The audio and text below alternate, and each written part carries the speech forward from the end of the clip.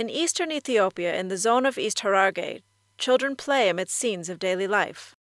Starting tomorrow, the government of Ethiopia, in collaboration with partners, will vaccinate all children under the age of five against polio, a dangerous and crippling disease that can permanently affect a child for life.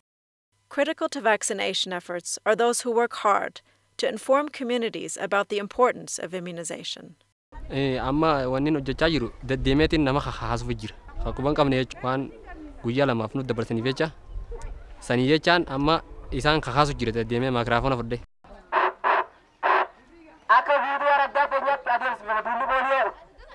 Dulli talaalli pooliyoo marsaa lammaffaan sadaasa digdamii tokko hanga sadaasa digdamii afurii wiixata dhufuutti ni geggeeffama.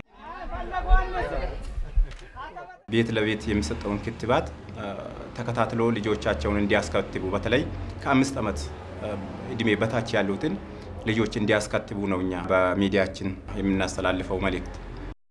የመጀመሪያ ዙር ላይ የሰራናቸው ልጆች 687951 ህጻናቶች ነው የሰራ ነው። እነዚህ ህጻናቶች ለዚህ ራውንድ እቅዳችን ናቸው። Reaching every child with the polio vaccine requires collaboration from all sides. The vaccine is kept under the required cold storage conditions at every level to reach immunization teams.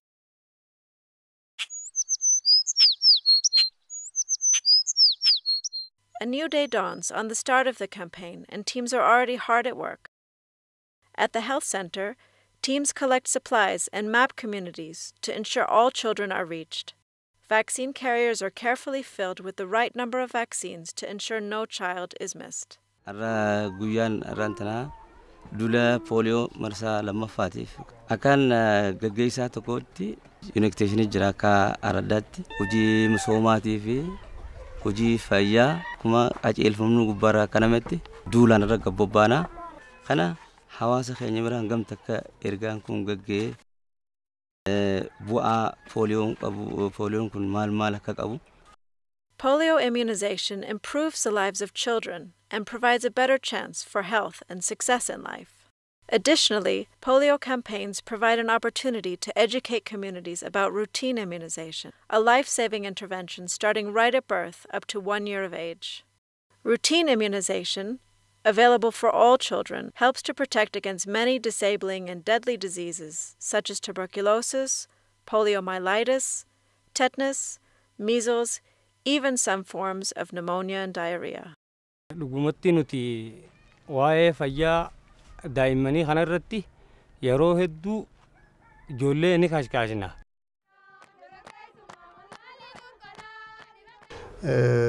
በዓለም ጤና ጥበቃ ድርጅት በተለይ በ2015 ይደረስበታል ተብሎ የተቀመጠው ጎል ኤምዲጂ ጎል የእናቶችና ህጻናትን ሞት መቀነስ ነው። በአሁኑ ሰዓት የምሰጠው ክትባት ጠቀሜታውን ስናይ የህፃናትን ከበሽታ መከላከል አልፎ በተለይ አምራች ዜጋን በመፍጠር አገሪቷ ወዳለመችው ተቀመጠው የእቅድ ውስጥ ለመግባት አስፈላጊ መሆኑን ነው እዚህ ላይ ለመጥቀስ የምፈልገው።